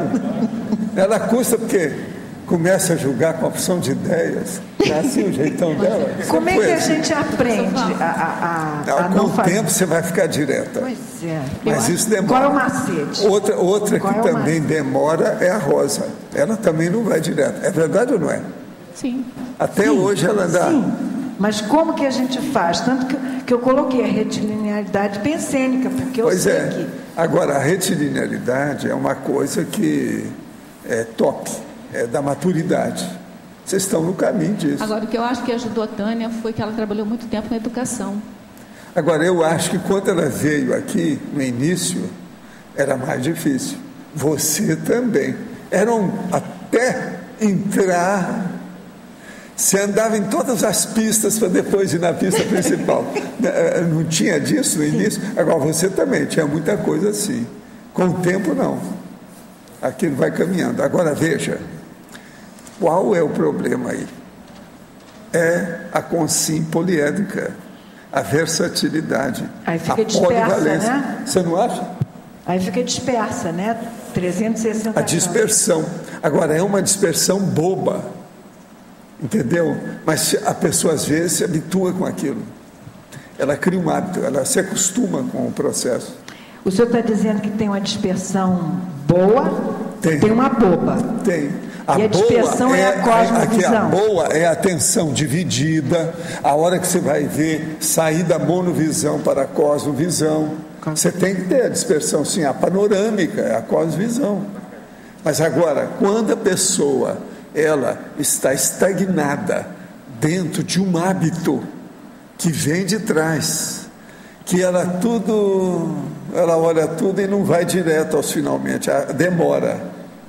Então, é o preâmbulo, é o prolegômeno, prolegômeno. é o, o, entende? É o prefácio, é o antelóquio, antelóquio que eles falam. Tudo é isso. Agora veja, isso mostra que você estudou muito. E não foi só nessa vida. É a mesma coisa a, a, a, a Rosa. Outra coisa, isso mostra também que vocês foram homens. Sim. Isso é óbvio.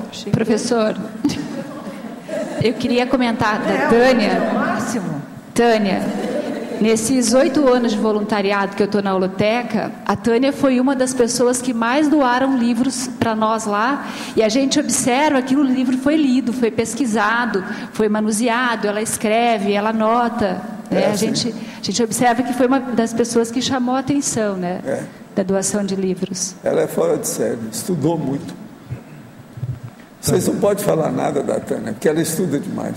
Quem estuda muito, ganha todas. Agora, a Tânia. É. Não, e outra coisa, ela foi homem. Isso aí é característica de homem. A, a mulher era dispersiva com coisas superficiais, mas na hora que ela aparece aqui com dispersão, mas não com coisas superficiais, mas para fazer análise, que é o que eu falo aqui de mega análise.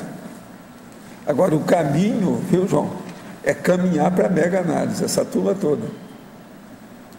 Então, o ideal seria fazer uns cursos de mega análise. Você podia fazer isso, e agora já está começando a entender isso mais. Aperfeiçoa isso e olha os detalhes da mega análise. Você dá um curso. A turma aqui precisa disso. Isso aqui. Professor Valdo. Isso aqui que ele, porque a é. gente recebeu, né? Mega análise. Pois é, esse que eu Depois fiz nós vamos hoje. Conversar, né? Eu fiz também o de hoje. Sim. Tem feito ultimamente aí com vocês, todo dia, para ajudar. Né? O de hoje também eu fiz. Apresentei uma série deles. Professor Valdo, essa coisa de, de ser dispersiva, não é dispersiva, é de ser enrolada para ir no finalmente. Se foi homem muito recente, essa, essa dificuldade ah, vem da onde? O processo do o problema do androssoma que eu estou falando aqui, que não é ginossoma, é a hora que a pessoa tem a dispersão, mas com substância. Ah, entendi. Você me entende? Agora veja, o que, que é a mega-análise? A mega-análise é a hora que você pega aquele texto que está ali grande, quatro, cinco, sete páginas, e você só vai ver a essência daquilo. Só o resumo, a síntese você não pode sair daquilo. O João está fazendo. Conforme o dia você está acertando. Conforme o dia, metade está fora. Rodou lá, outro espaço. Saiu de órbita. Entendeu? Mas teve dia desse, você acertou tudo em cima.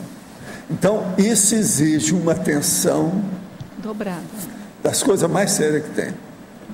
Entende? Eu tenho mostrado aqui todo dia o processo de mega análise, como é que é.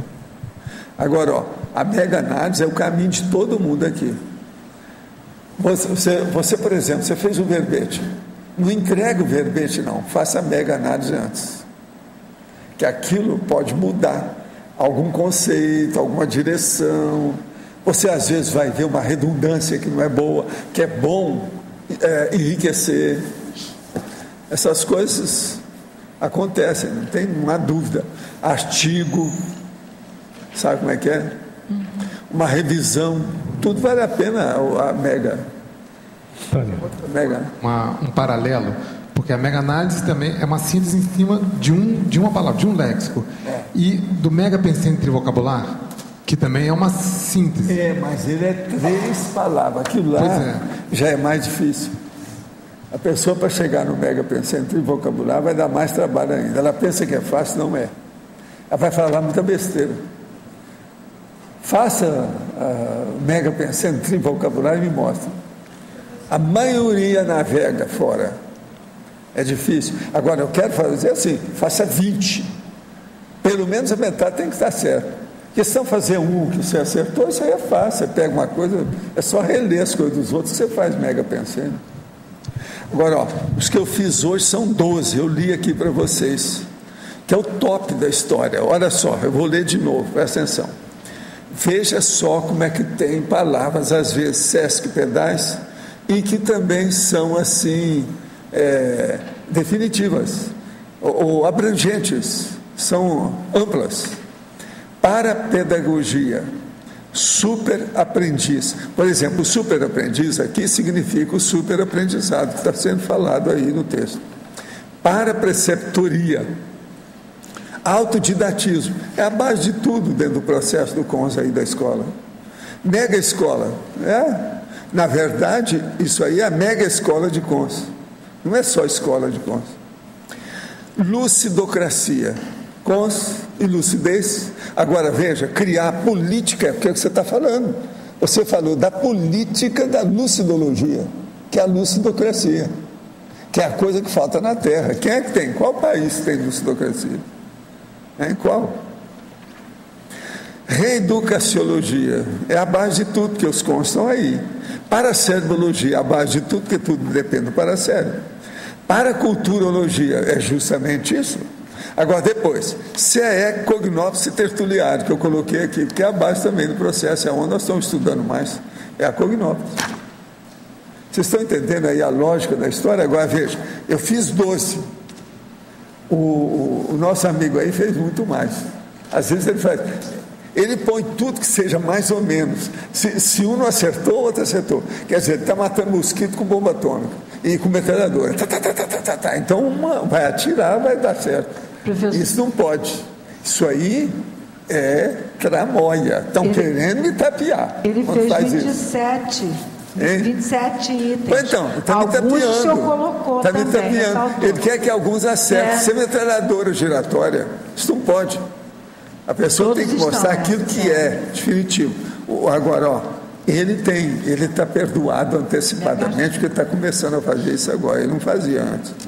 E outra coisa, já cresceu demais, porque ele está perfeito agora em matéria de revisão. De vez em quando tem umas coisas que eu não entendo. Aí tem umas coisas dele que eu não entendi.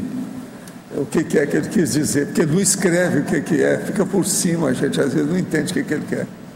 Mas agora eu acho que você devia estudar, sabe, isso que eu estou falando aí, a mega análise. Curso de mega análise. E faça só isso que nós estamos fazendo, que você já vai ajudar demais todo mundo e principalmente a mim, dentro da situação toda aqui. Isso vai ajudar demais os 500 herbetógrafos que nós vamos chegar lá. Entende? E outra coisa, você vai criar muita jurisprudência sobre a mega análise. Você está entendendo, né? Pois é. Pensa nisso, tá certo? Segundo, gostaria de reforçar a importância da colocação sob sua teática na condição de pesquisadora, fazer do domicílio seu laboratório. É com você. Essa colocação é fundamental para as pessoas que não têm o campi com os laboratórios na realização da teática. A Vera poderia reforçar esse ponto. Qual foi a prática realizada em domicílio? Como foi a realização? Qual o resultado? Quem está perguntando é a Daniela Miari. É, não, está de olho, né? Está de olho. Ela já chegou em casa. Eu não sei se eu entendi a questão. Se, se eu faço o experimento no domicílio, é isso mesmo? A sua técnica de fazer no domicílio o seu laboratório.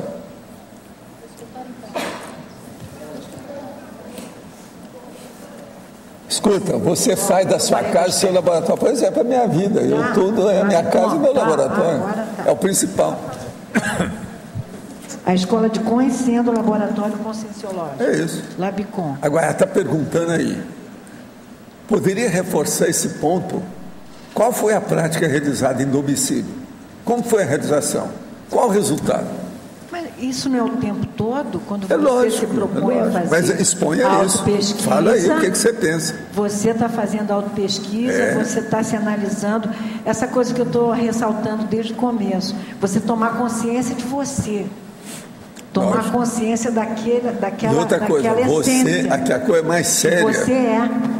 É a pessoa se conscientizar que ela é uma eterna pesquisadora ininterrupta, onipresente. Acabou. Eterna aprendiz. Eterna, ininterrupta e onipresente. Não tem saída. Em tudo é você está pesquisando. E é o jeito da gente ficar livre do corpo humano. Agora, aqui outra para você. Poderia haver betógrafa falar sobre como se dá o processo de interação, prioridade existencial, escola de cons. Interação. É, a aqui está Interaciologia, página 3, primeira ah. linha. A interação, prioridade existencial, escola de cons. É, ele, quer, ele quer saber aqui a interação. Qual é o processo? Como se dá? A ideia é essa. Você, a ideia é essa. É. Aprendeu no curso intermissivo aquilo que, nós, que se vai concluir, que se vai terminar na próxima vida. Então, as prioridades é você terminar aquela, geralmente aquele ponto que está há milênios, é, enclausurado na sua, na sua essência. A escola de Coins é, é, é essa, essa possibilidade, essa vivência, eterna. Prioridade para completar, para terminar a ProEx é a escola de cões. O hábito de o adulto jogar videogame e assistir desenho animado caracteriza o infantilismo constante na vida humana? Se não for, o que, que é? Você quer falar alguma coisa sobre isso? Seria bom. É, o próprio fato dos interesses, né? Ele tá, como é que ele está usando o tempo dele? Se ele está usando o tempo dele em coisas que não exijam muita coisa de pensamento, ele está só passando o tempo, já tem um grande sinal de infantilismo aí. A verbetógrafa. Qual a relação que poderia ter com Madame Blavatsky? Sai dessa? A Madame Blavatsky é muito feia. Ela aqui é bonita. Então há uma diferença enorme. Né? É, professor, no primeiro ECP2 que eu fiz, ECP2, o senhor é, foi o Wagner Alegrete, foi o, foi o professor, e o senhor era a primeira vez que estava, não estava como, como epicô. E aí lá eu tive é, é, uma, uma uma ideia. Eu, eu, eu nunca consegui ler nada da Helena. Me dava um. É. Me dava uma coisa. Agora, você também nunca fumou charuto, né? Não. Cigarro, é. sim. Ah, cigarro já é. Sim, eu fumava quando eu parei três maços é. dia. Nossa. Era uma, eu era envenenado. Isso aqui é pulmões, né? Pulmão. Então eu, eu tive uma intuição, veio, veio a ideia eu digo, é, eu nunca li, Tânia, vamos lá, vamos. Aí eu entrei na, no professor Google, né? E tinha lá uma coisa que me chamou a atenção. O primeiro trabalho, primeiro, depois eu fui comprar os livros dela, né? Fui ler. Estava lá, ozônio. Eu digo, olha que interessante, ozônio. Eu fui química, fiz química e aí eu fui estudar ozônio, que estava colocado como um termo da Helena Blavatsky. Mas eu, assim, nenhuma relação, eu não penso, nem, eu não tenho nenhuma relação. Muita afinidade, não? Não. É. Acho que não. É outra pessoa. É. Ok. Eu tenho uma pergunta aqui. É, Pode falar, chefe. Pô, já que há necessidade de recuperar os cons, é porque eles foram perdidos devido ao restringimento intrafísico e outros fatores também, até mesmo no extrafísico. E minha questão é a seguinte: quais são os principais. Uh, eu, eu, eu vislumbro dois fatores da perda dos cons. Um é o restringimento intrafísico, que é essencialmente a falta do autodomínio holossomático. Esse é um fator. E o outro seria um, é, o fator que seria para potencializar a proexis, já que a lembrança de alguns fatores poderiam desviar a consciência. E no caso dos intermissivistas, o que, é que é, vocês acham que é o dominante, a causa dominante é, de, da perda dos cons?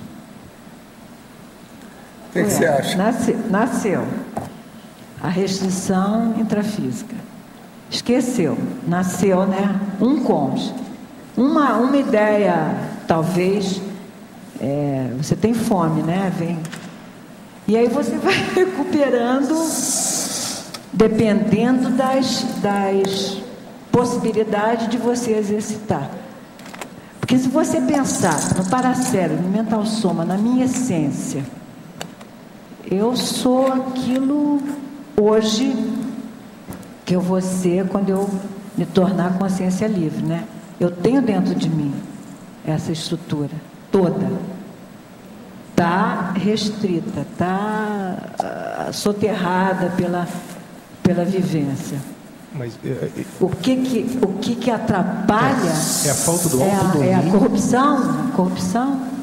A minha questão é a falta do autodomínio holossomático ou a própria preparação para ProAccess, que inclui apagando certos conhecimentos que poderiam desviar. Então, a minha questão é qual é o fator principal é, que determina essa falta, essa perda dos cons? Você não acha que é multi... É, você está perguntando um fator.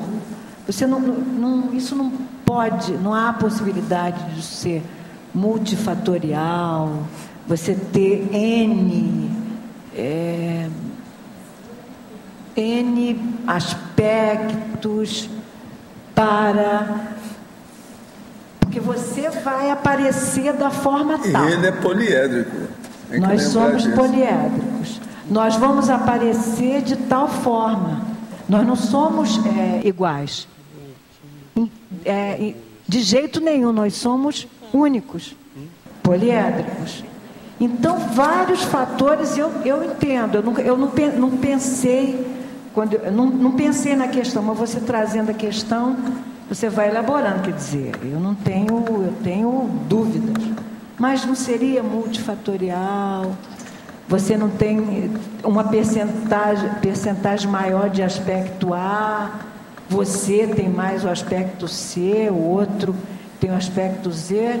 Você acha que tem lógica isso? Eu acho que tem diferentes graus. Inclusive, eu coloquei dois isso. fatores é, guarda-chuvas: né? a falta de autodomínio e a própria preparação para o ProExis. Então, acho que é uma combinação dos dois fatores. Só, você saber se tem uma predominância maior, é, pelo menos entre os intermissivistas. Então, a sua não resposta é que não, sei, não sei, é que talvez não, não, não, haja então um predomínio de um fator sobre o outro. Não sei. Tá Obrigado. Tânia. Obrigada a você. É, você, como super especialista em numerologia, eu queria ver aqui na numerologia da página 3, é, como que você arquitetou essa ordem aí? Ah, essa ordem. ordem. essa ordem. É... Você gostou da ordem? Gostei, mas. Isso foi. Eu queria saber como é que. Um exercício, olha só. Aqui a gente está fazendo a, a, técnica da bato-pensanidade, quer dizer, a escola de Con está sendo ressaltada nos sete itens. Tá? É. Então começou com Nel. Nel. Quer dizer, a gente está chamando para o novo. Não sei se tem um crescendo, não. Eu acho que tem um vai, vai e volta. Não, mas, mas olha, que olha vai... que interessante. Eu tive a impressão que vai e volta, não sei. É, vai e volta, eu também acho. É. Olha só, o Nel é o novo. Depois o Mega, eu estou chamando para o grande.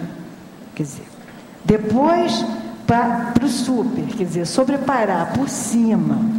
Eu estou fazendo, esse é meu entendimento, tá? Você pode ter outro.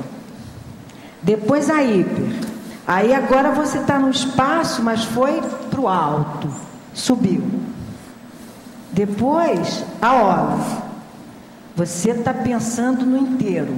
No Quer todo. dizer, integrou tudo.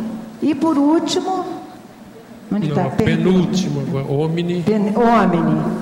Você foi para o todo e para o tudo é diferente do integral. O, Você está na, na, na, na, perspectiva do todo e do, do tudo. Do ono para o omni. Enfim, e no ela cosmos. te deu um banho de loja. Ordem do universo. A organização. Então não tem um crescendo, não tem um decrescendo, tá um vai e volta. Tá um, né? É, Quer então, dizer, a escola de cons Ela é. te deu um banho de loja essa? sobre cons. Depois dessa super ordem da Supertânia, parabéns. Sei, mas ela já estudou centenas e centenas de numerologia. Tânia, aqui no B, meus parabéns novamente pelo verbete, Ivan, tá? Agora pegando o gancho aqui do Xará Ivan, tá? Não sei se vai ter relação, que depois de muitas conversas nós descobrimos que nós fomos vizinhos, né? Da ex-Barata, ex-Baixada das Feras, né? morando em Milwaukee. Baixada Fluminense. Morando em Mesquita, ali bem próximo. Né? Mesquita. Então essa relação dele eu não sei se pode ajudar, a questão, quer dizer, minha e sua também, a questão da mesologia, que quase nós perdemos a ProEx por causa da mesologia também. Sim. Quase Baixada Fluminense é complicada, né? Nossa... Não, e os Ivans estão se reunindo lá para fazer um cantão. Os Ivãs, olha lá. Frente, é um cantão. é. Se você é. poderia dar uma aprofundada nisso aí. Eu acho que sim, a Baixada Fluminense, quer dizer, nessa época que eu estava fazendo a faculdade e fui do movimento estudantil. Com certeza. Meu pai era o presidente do PTB lá de, de Nova Iguaçu, então eu tinha a vivência política no PTB. Ele, ele trabalhou na Baixada Fluminense. Sim, Você trabalhou na altura Fluminense, foi isso? Não, na altura, mesquita, é mais para cima. É baixada também, mesquita. Oi. Hoje. É mais alto um pouquinho, alguns metros do que Nilópolis. Nilópolis está até 26 metros acima do nível do mar. Hoje o município com, uma, com, índice, com menor índice de IDH do, do estado do Rio é, é Mesquita. Não tem uma. Não tem uma biblioteca, não tem. Quer dizer que Mesquita de... está mesquinha, é isso? Está mesquinha. Tá, que tá coisa. broca, tá broca, tá broca.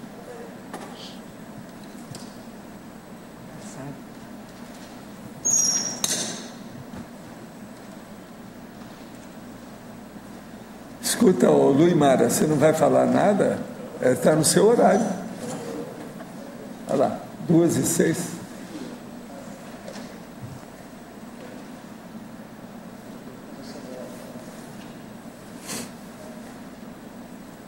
Tânia, você já está sendo aí a consincobaia.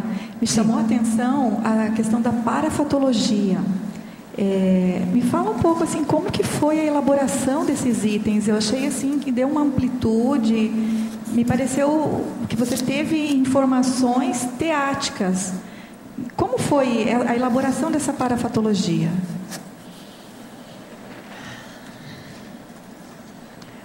Como foi a elaboração? Então, eu acho que vale a pena contar como, que essa tema, como esse tema entrou na, na minha vida, né? Nós, quer dizer, eu cheguei aqui em 2004, vim morar em Foz do Iguaçu, e tinha o grupo da parapedagogia, aqui no CAEC.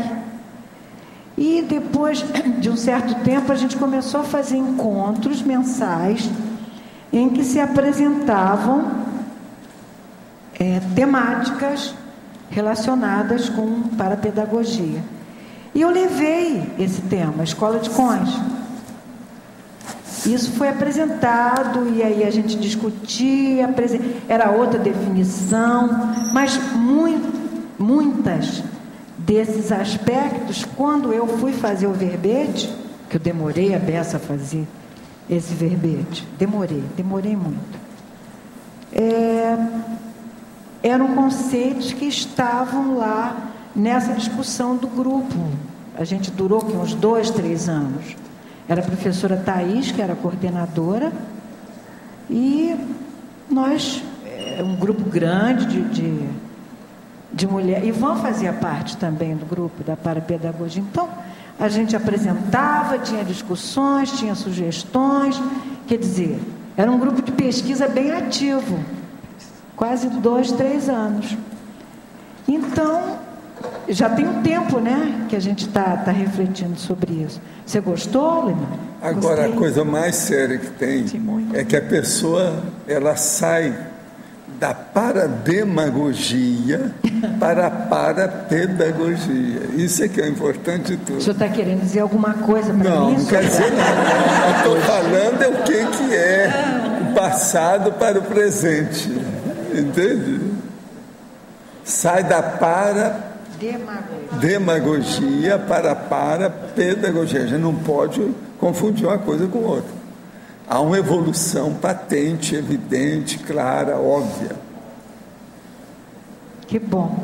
Agora você veja, a demagógica é a da religião, é do assediador, do mega assediador, da academia, do satélite assediador. Essa aqui é a para demagogia. Uhum. Tânia, uma outra questão. Quando você fala escola de cons, assim, pela definição, ela não deixa claro se a aplicação é intrafísica, extrafísica ou ambas. ambas. O que, que você quer dizer? Ambas. Ambas? É ambas, está vendo? Na exemplologia? Sim, sim, sim. A exemplologia ela traz. Intermissivo e vivenciado. E isso é eterno, né? Como se dá essa escola de cons no curso intermissivo? Aí eu acho que vai me esclarecer a minha dúvida. É o curso intermissivo, onde você aprende não é isso? Eu fiquei nessa Por dúvida porque. Sim. Isso, eu fiquei com essa dúvida porque se fosse por essa ordem de raciocínio, eu, eu teria entendido o curso intermissivo na sinonimologia. A minha confusão veio quando ele está na, na antonimologia. Foi aí que eu fiquei na dúvida, porque nesse... eu pensei que seria sinônimo. É que nesse caso, é para deixar bem claro que não é exatamente curso intermissivo que ela está falando, ela está falando também de curso intermissivo. Por, por, isso que eu perguntei agora qual é a, a diferenciação entre um e outro. É o contínuo, pelo que eu entendi, é o contínuo que ela propõe. Ela propõe esse contínuo da escola de cons, ad uhum. infinitum, que ela coloca. É um contínuo. Que o curso intermissivo e o reforço disso no Labicom da vida intrafísica. Pelo menos foi assim que eu entendi, não? Tânia, é isso mesmo? Uhum. É um contínuo. Isso, a gente colocou aqui na antonimologia. Não é o curso intermissivo. Não é só o curso intermissivo.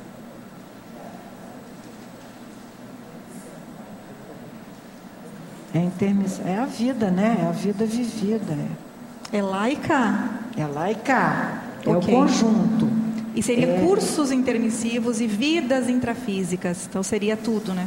Isso está vendo na relação entre o intrafísico em relação ao, ao curso intermissivo, ao finalzinho da, é, da acho, definição. Eu acho, então, eu volto à mesma questão que eu estava desde o início. Eu acho é. que a, é o modo de você ver a escola de cons como uma produção da pessoa, da consciência.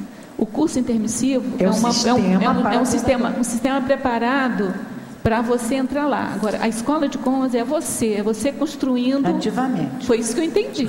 Está logo na definição aí, ó.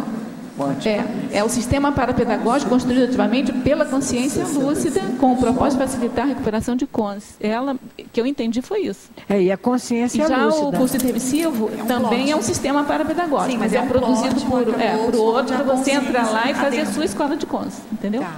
Foi isso tá. que eu tá. entendi. Agora me esclareceu. Obrigada.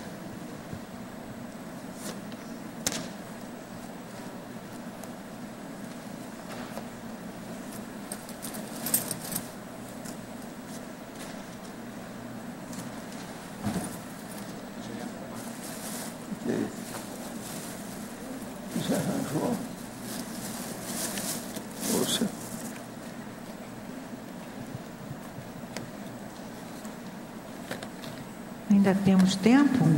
65. Dois minutos? Quatro minutos? É, o que, que vocês acham aí da paradoxologia na página 3? É possível isso? Vou passar no corpo. Isso eu fiquei bem em dúvida. Paradoxologia, é, página 3. Paradoxo intrafísico. Alto nível intelectual, ausência de curso intermissivo. Sim? É o que mais tem? Sim. Então, essa é o grande ibérico, né? Esse eu, eu, eu quase perguntei, mas depois falei, não, é óbvio. Né? Não é. tem muito o que perguntar. mas ele está bom, esse parador. Bolt? Marcado? Bolt? Está Bolt? Bolt, negrito? É. Ô, Tânia, é, esse, esse paradoxo aqui lembra muito a questão dos pega-deuses, né? Esse aí ficou bem claro quando, quando eu li aí o paradoxo. Adulto ignorância, isso é? é?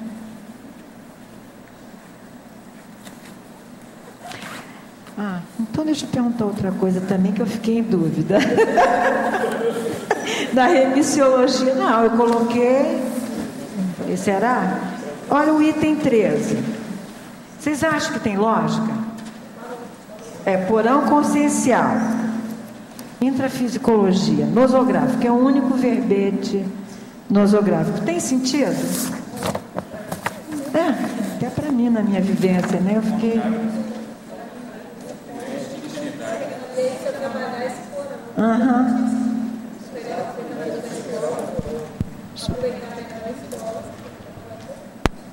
É, porque o verbete é, é homeostático. Então eu coloquei alguns, a maioria homeostática, alguns neutros, digo, não, nosográfico, qual seria aí? Porão. Mas eu fiquei assim. Vamos ver.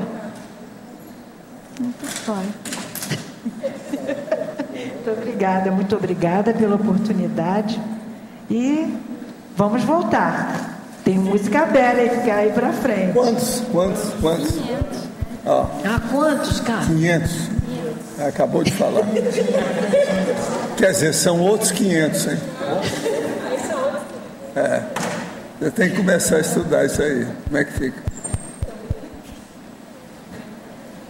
Gente, vocês ainda tem dois minutos, vocês não querem dar um tiro final na acabativa da Tânia? Fala aí alguma coisa, Kátia. Na bibliografia, é o número 12, Cidades Educadoras. Você podia falar sobre o que é esse livro? Aqui, ó, Kátia, aqui na frente. Ah, tá. Kátia. Isso é um livro que foi feito aqui pela Universidade, ah, como está aqui, né? Pela, ah, não, não está. Pela Universidade de, de Curitiba. Esse conceito de cidade educadora está começando há talvez há uma década na, na, na coisa, na, nos estudos sobre educação. E aí essa cidade, quer dizer, o município pode ser aquele local é, que, que a educação vai estar acontecendo para todos. Essa ideia que eu trago de vez em quando, né, você observar a Câmara, você pode no município fazer a modificação efetiva é, é, na cidade. Né? Então, cidades educadoras, tem um monte de trabalho já acontecendo, que é mais ou menos essa atividade política mesmo. Eu tenho um livro. Você quer dar uma lida? Tá, eu te empresto. Eu tenho o livro, ele está todo rabiscadinho, é, Cidades Educadoras. Olha, então eu te agradeço, foi então, muito bom. Esperamos os próximos 500. 480. Não, em 498. Ah, é, então tá. Os nossos comerciais, por favor. Obrigado. As pontuações de hoje. 49 assinaturas no livro de presença, 26 perguntas presenciais, 18 perguntas online, 24 votos presenciais e 5 votos online. Hoje o temos o recado da Valdirene sobre a escola do panapsiquismo. Boa tarde a todos. O convite é para o curso Escola de Parapsiquismo é um curso com duração de um ano, baseado na, na técnica de mais um ano de vida, no caso voltado ao desenvolvimento do parapsiquismo. A escola do parapsiquismo está estruturada em atividades fixas e optativas. As atividades fixas são compostas de três módulos e o primeiro módulo vai acontecer no CAEC de 4 a 8 de janeiro do próximo ano. As atividades optativas são escolhidas pelo próprio aluno e podem ser acoplamentário, ECP2, dinâmicas parapsíquicas, laboratórios de autopesquisa, maratonas energéticas. As inscrições podem ser realizadas na recepção do CAEC ou mais informações através do telefone 45 3525 2652. Obrigada. E para amanhã o verbete eleito é Corpus de Evidências na Proexis a especialidade autoproexologia, a autora professora Rosa Ramalho. Obrigado pela sua presença e até amanhã.